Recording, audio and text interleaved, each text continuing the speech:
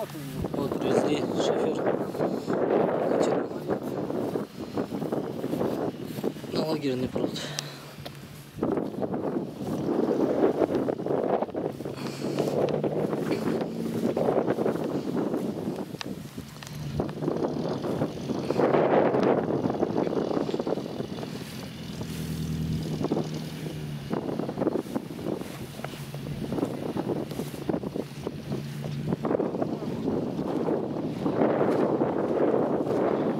Давай.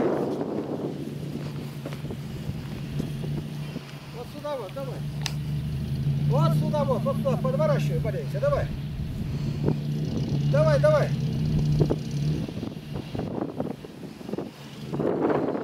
Заднего хода боится, как огня.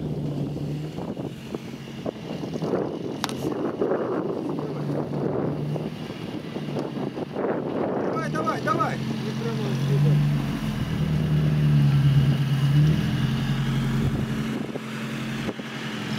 Давай, давай.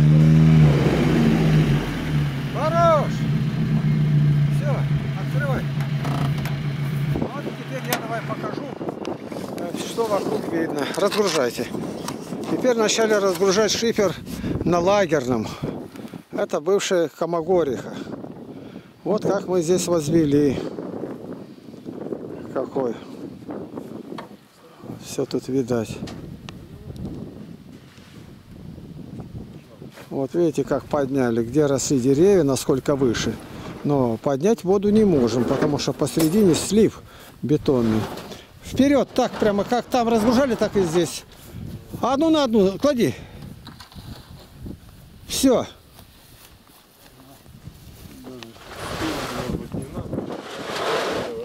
Разгружать до одной шиферины сюда. Это можешь отдельно, вон туда дальше, если ломаная такая.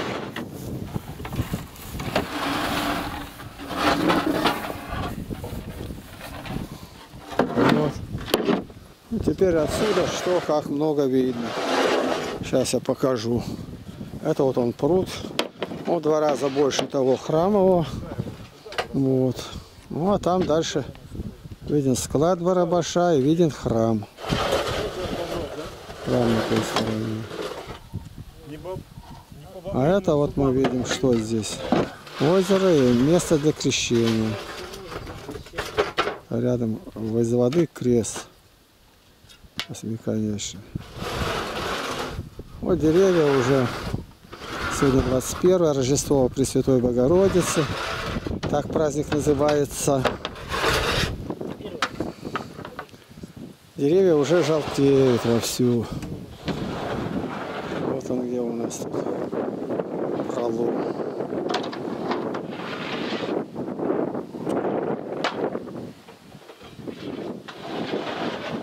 Не, не, ничего нельзя сделать. Подняли и пока ничего. Сложить еще на год, другой. Вот дамба. Повернули ее прямо, а это так. А там дальше глину вон брали с той стороны. И трактор стал вязнуть. Если бы он сел на пузо, то гусеницы уже не помогли. И 17 тонн вытащить оттуда, когда они сидят, не знаю, сумели бы они это или нет.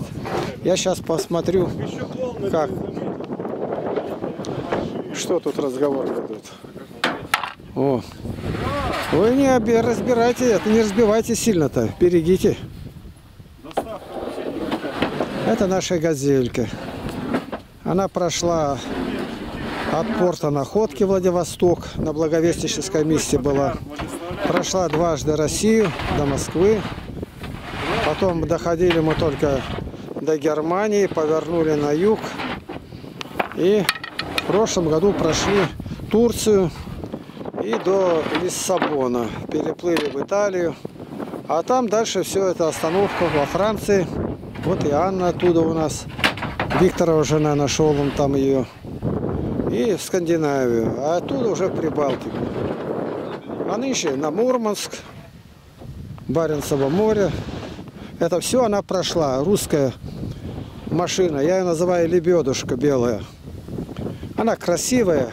Если бы не бракоделы, там разные, с Ульяновского завода, там не передача какая-то полетела, то все было нормально. Вот сейчас я иду и показать, где трактор работал, и пришлось в срочном порядке снимать отсюда его. А почему? Да потому что застрял бы он, вот он и где он был. Вот какая колея у него осталась.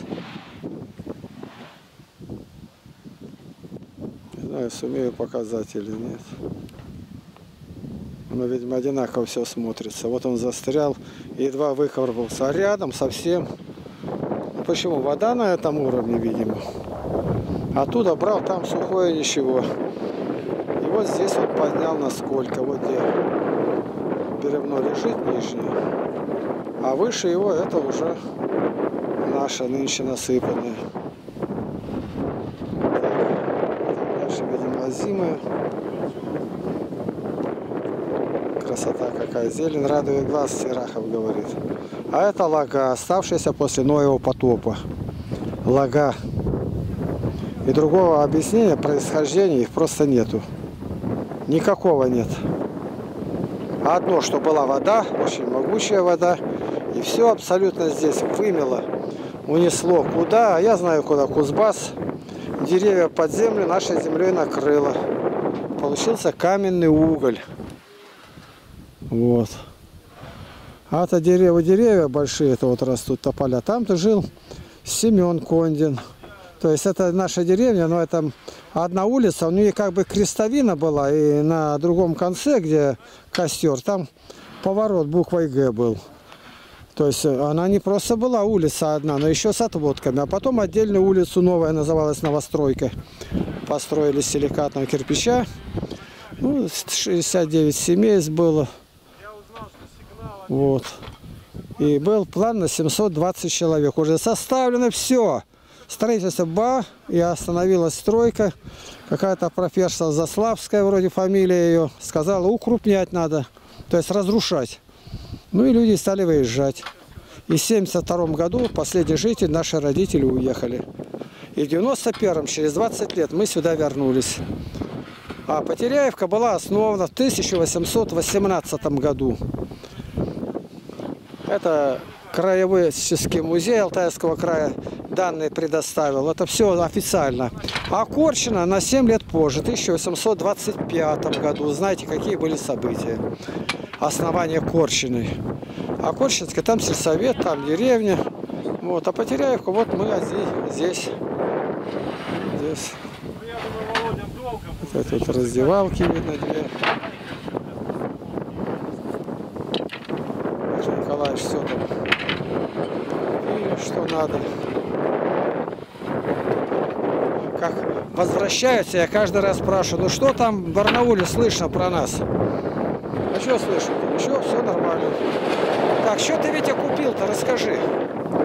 Что? Что купил-то, на что потратил деньги? Масло на двигатель. Фильтр масляный. Такие специальные подушки, резинки, чтобы выхлопную трубу держать. Ну. Четыре штуки. Удивительно, И Виктор поехал. Сигналы. сунул 5 тысяч. И сказал, мне купить плитку такая, чтобы одна конфорка была и э, спиралька была. Больше ничего не надо. И получилось, что Татьяна, благословение матери умершей Зинаиды своей, дает. Ему не пришлось тратиться. А эти деньги как раз хватило на то, что они там делали по машине. Вот что удивительно. И Татьяна ничего не знала, а так бы не хватило. Ну, я бы дал на горючее это поменьше. И остальное не купил бы. Ну, вот так. Выносите все. Вышках фанерками заложили. А у машины решетка прекрасная, она везде ездила. Вот Андрей Устинов сделал. Решетка. Он мастер такой. И куда бы наши не поехали, везде с собой запасной, вот смотри, бачок, ба- так сказать, как канистра Канистра. бензина. И она как заложена, мягко там у ней. Вот. И здесь вот такая решетка. Решетка, то точно вот. Конфигурация есть в машине. А там есть и картонки подложили. То есть стараются беречь. Хотя не все и удается. И заканчивается. А тебе, э, Никита, не монастырские пашете. Тут работать надо. А то видишь как, навострили уши. А он говорит, не поеду, да и все, буду работать. Ты так говоришь? Вот видишь как.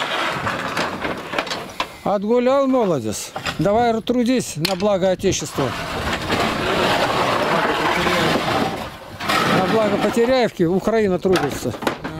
Вот он где подает. Так. И каждый день новая работа. О, видишь, какая беда. Шифер развалился. Я знаю, что с ним сделать. Никуда не маленькие не бросайте. Они у нас пойдут. Вертикально ставить. От бобров. Чтобы ему шу- шубу попортить. Он не будет лазить около нас. Ой, Жизнь приготовлена бобру, да? ну вот видите как, какая работа. 2015 год. 21 сентября. А что вы выбросили эту картонку-то? Сейчас унесет ветром. Она будет в реке, в этом, на пруду. Куда скорее ее? Забирай, Никита, быстрее.